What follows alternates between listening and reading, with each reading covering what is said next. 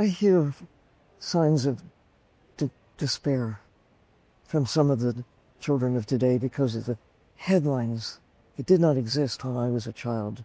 I mean, wars, poverty, disease, the, the, just the fate of the planet as a whole. The worst news would be if we did not know the nature of the problems we face because we are the cause and we can also be the cure.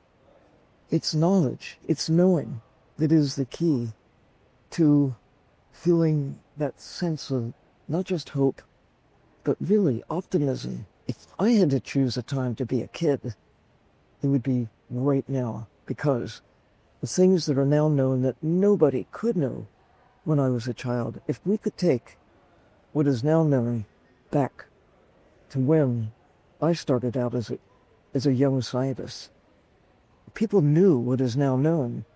Think of the difference we could make armed with the knowledge that we currently have. We would have taken action to protect whales much sooner than we did.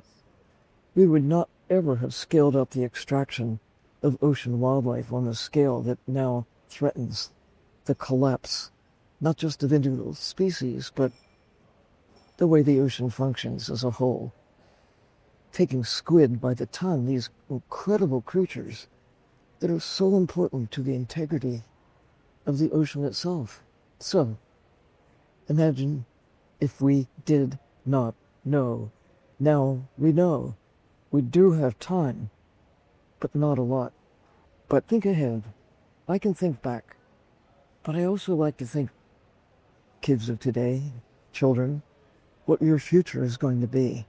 You might be there 50 years from now looking back saying, yes, we made the changes.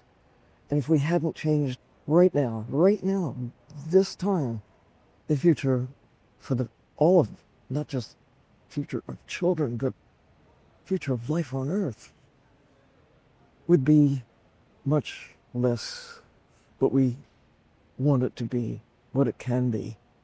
We're just on the edge of collapse of many of the systems that make Earth habitable.